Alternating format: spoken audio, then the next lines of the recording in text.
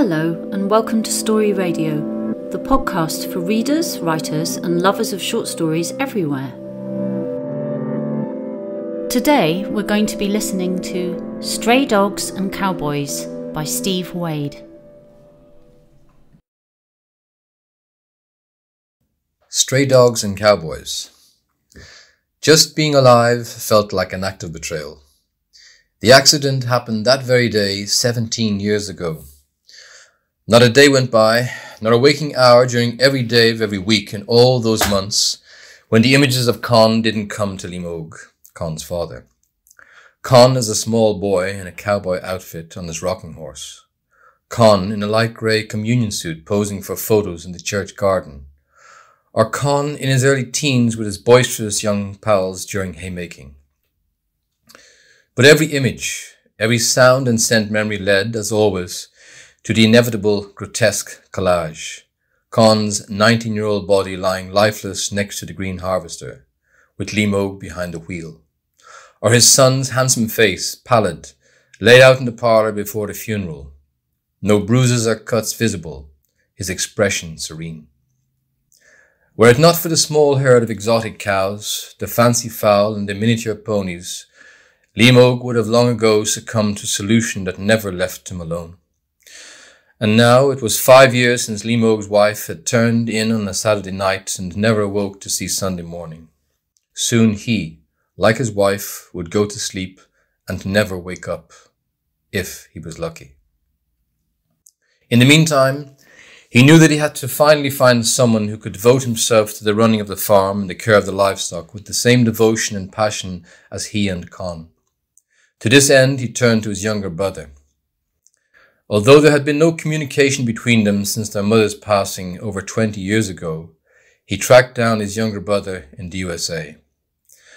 At 71, his brother said he was too old to return home and way too old to run a farm. Besides that, his family was American. He had one son and two girls, grandchildren, and a great grandchild on the way. Too many commitments.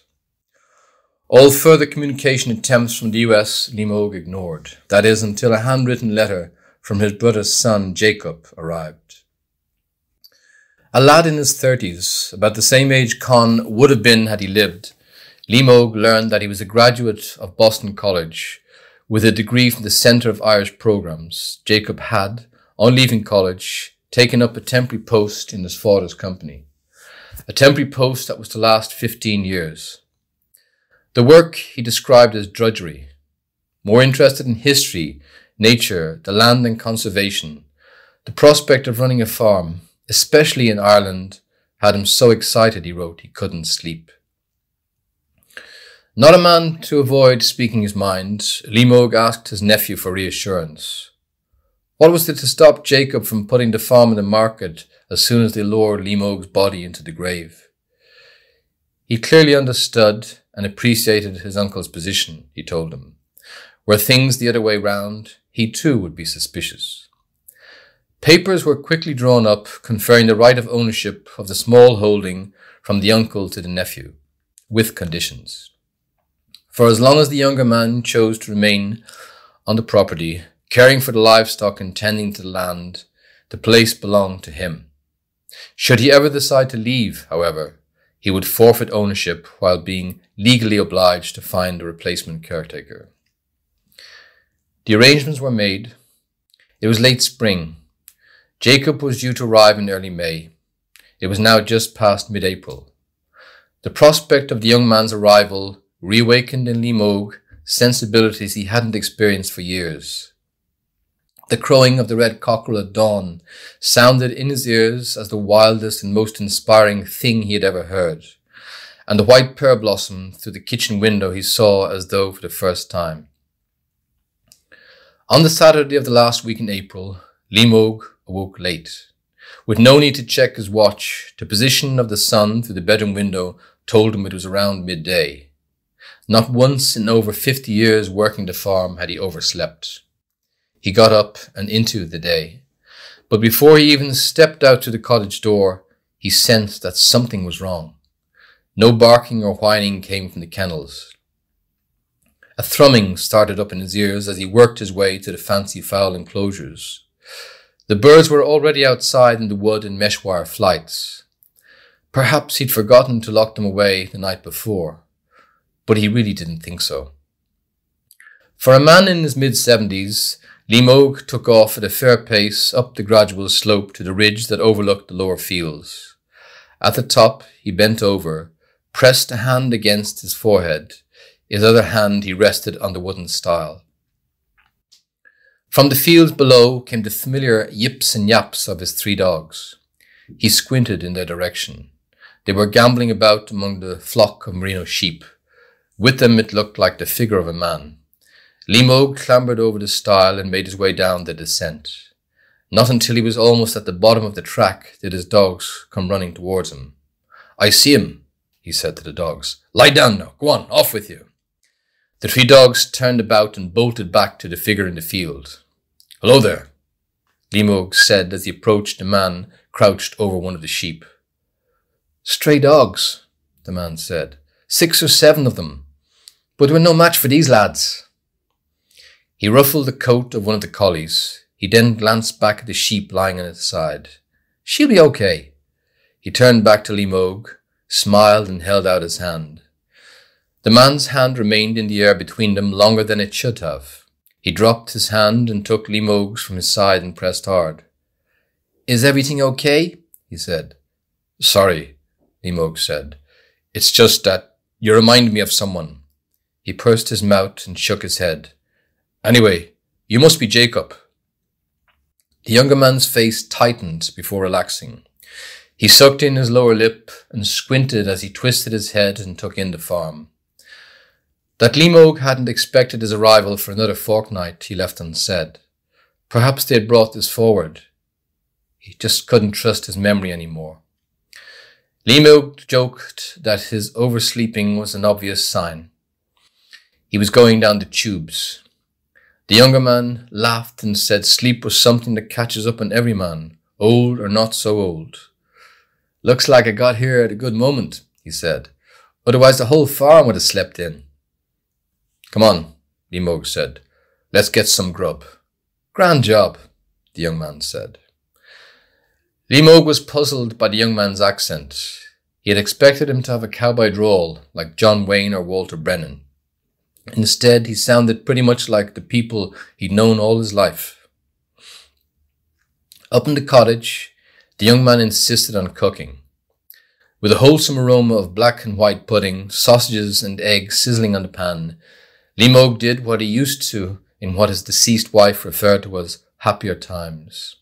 He took down the fiddle from off the wall and played a lonely air.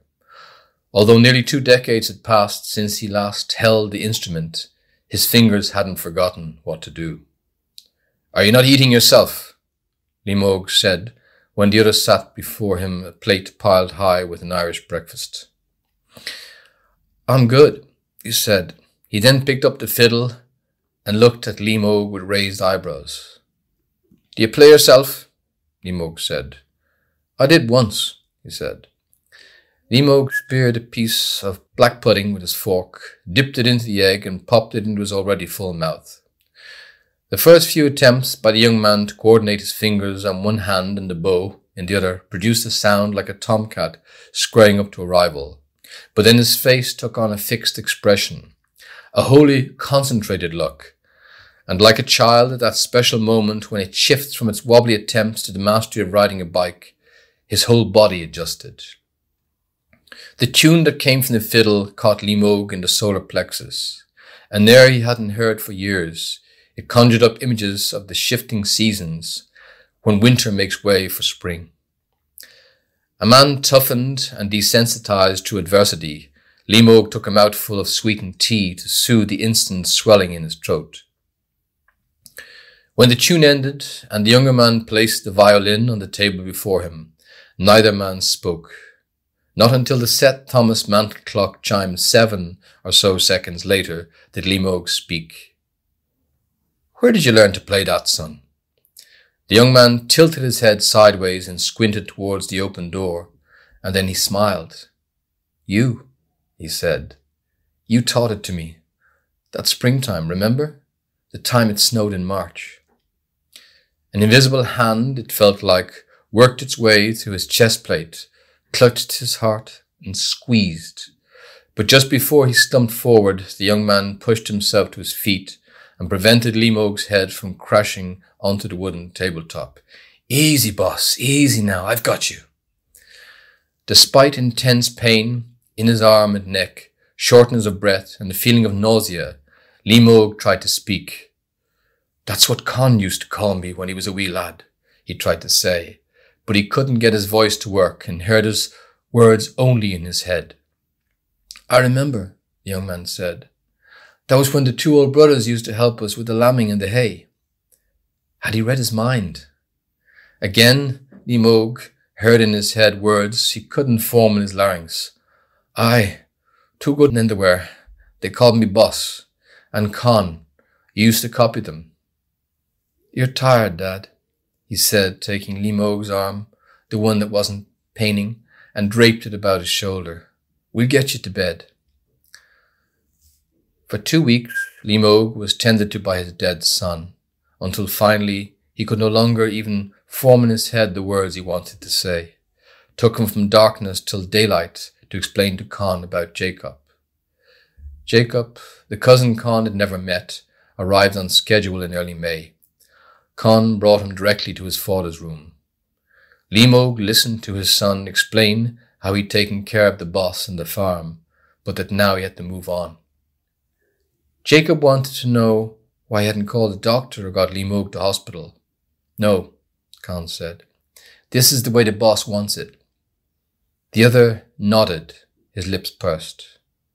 That evening, while Jacob was outside tending to the livestock, as Con had earlier instructed him, Con played once more the air on the fiddle. Without realizing it, the pain left Liam Og's arm and neck, and into his lungs he drew a great draught of oxygen.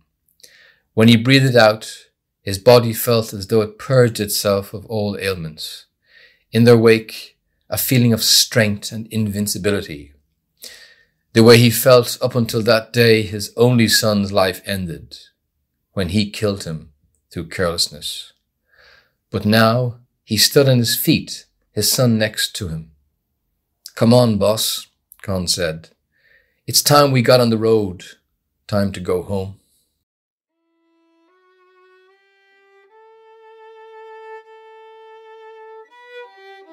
That was Stray Dogs and Cowboys, written and read by Steve Wade. The producer was Tabitha Potts. If you're enjoying our podcast, don't forget to subscribe for free so you can listen to a new story every month. Goodbye.